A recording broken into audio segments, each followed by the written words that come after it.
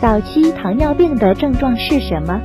张威，内分泌科副主任医师。糖尿病的三多一少症状一般发生在临床期的糖尿病。那么糖尿病的前期啊，多半是没有典型的临床症状的。但是有一部分患者确实在糖尿病前期就有出现口干啊、多饮多尿这类症状的。我见过有一部分患者有这类情况。那么还有一部分患者呢，在早期呢，胰岛素分泌的实相发生了一些障碍，比如说在早期出现了胰岛素抵抗。或者出现了胰岛素分泌峰值的延迟，那么这部分糖尿病前期的患者，他的主诉就是总是容易心慌冒汗，一到饭点不吃饭就容易出低血糖的症状啊，整个人感觉不吃东西浑身发抖。那么这种情况就要警惕了，有可能是糖尿病前期的胰岛素分泌峰值延迟所致的餐前的反应性低血糖。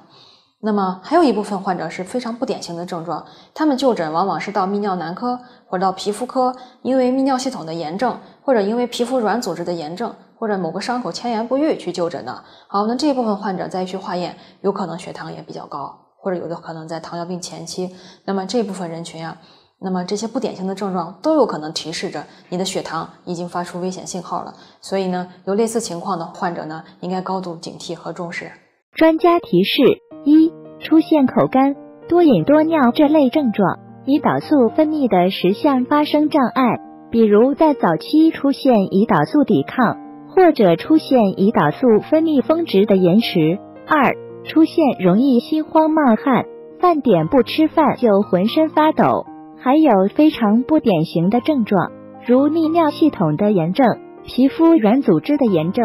或者某个伤口迁延不愈等问题。